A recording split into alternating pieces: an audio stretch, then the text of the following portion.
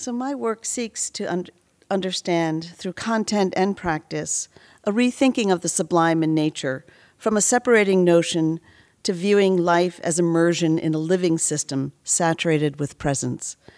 Devi prayer on the honeybee collapse, 68 inches tall. I'm thinking about what it will take for um, humans to wake up. Blackbirds singing in the dead of night, painted in response to the Arkansas blackbird die off. People were walking ankle deep in dead birds.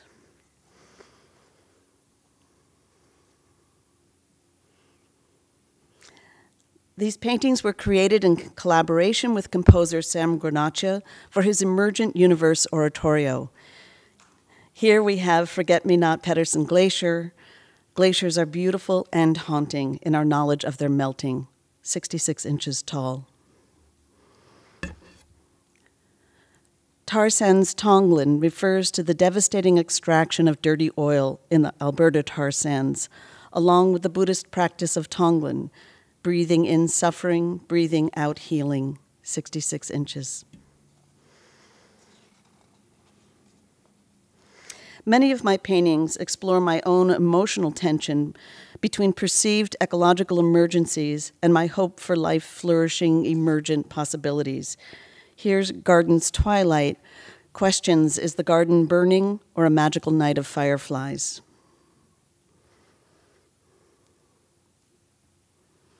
The universe is a green dragon, taken from author Brian Swimme, living, self organizing, complex, and radically interdependent, a story in which we are fully immersed.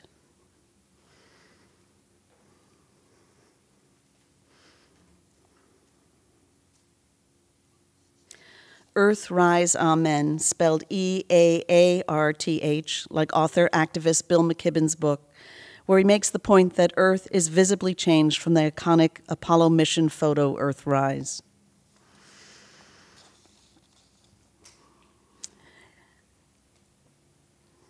Endless Spring is the title of both this painting and series, 12 feet by 5 feet, and again refers to one of the many Buddhist terms for awakening.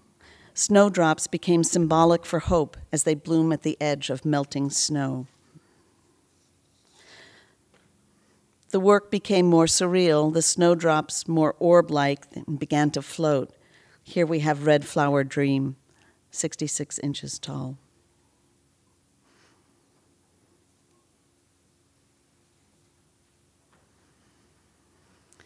I can't tell you why the snowdrops began to float, some sort of inner necessity. Somewhere around this time, my mother died, and I felt as much earthed as transcendent. Snowdrops geography, 66 inches.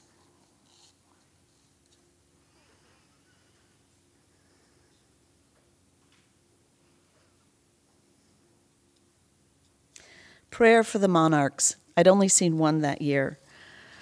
Sometimes the work feels like a desire to enter into a sensed, loving presence of the more than human world. 66 inches by 60 inches, acrylic on canvas. After Koetsu, the medieval calligrapher whose studio became a meditation center for artists on the nature of nature. It's currently on exhibit at the Fleming Museum.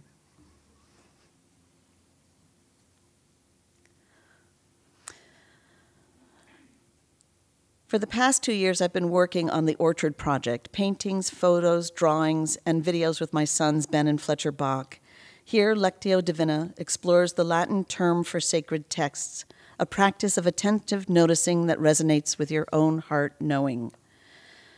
I'm suggesting um, that the sacred text is the physical world and our experience of its invisible presence.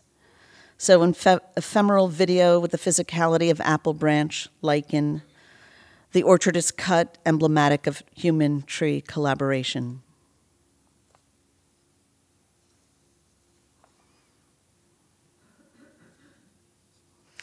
Continuing to play with this idea of text, transliteration consists of 30 photos photocopied onto transparencies and rephotographed on a light table.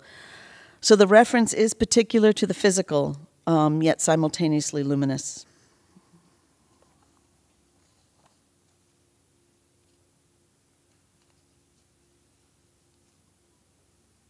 I was partnered with Champlain Orchards of Shoreham for the Eyes of the Land exhibition, and one thing I was struck with was this that every orchard seemed to have its own particular felt quality. I also spent time in Shelburne orchards, orchards in Oregon, the UK, and my own backyard, both commercial and feral. I'm interested in the relationship of the transliterated literated reference of place that happens in a painting, juxtaposed to the literal artifact of, of place, um, in this case, a branch or branches.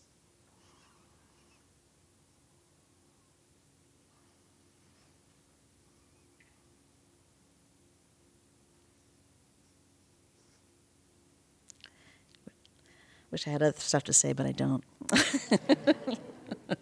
um, uh, Tenalock, shown here, um, is part of Eyes on the Land. Um, with table and hard cider in votives, explores the idea that there's a kind of communion in the sipping of cider.